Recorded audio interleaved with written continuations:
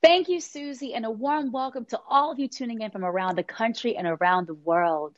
Tonight, we come together to celebrate, celebrate the amazing work that Smile Train and its partners do around the world, the lives they've touched, the communities they've empowered, and most importantly, the 1.5 million children they have given a chance to smile. Smile Train's vision is a world where every person has access to safe, high quality, comprehensive cleft care and is able to live a full and healthy life. This vision is so close to my heart. As a performing artist, I do what I do and I love what I do because I'm able to connect with people through music. And there's no better way to connect with someone than through a smile.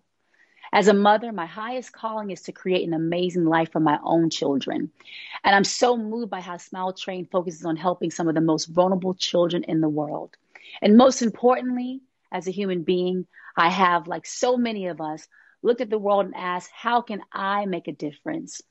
There's so much need in this world, so many people who need our help, our support, our voices, like the 540 babies who were born today, like every day with a cleft. When you get to Smile Train, you are making a difference. You're helping to serve communities who need it most, and your support makes an incredible impact. On this World Smile Day, we'll celebrate what we've accomplished together, and we're going to celebrate in style.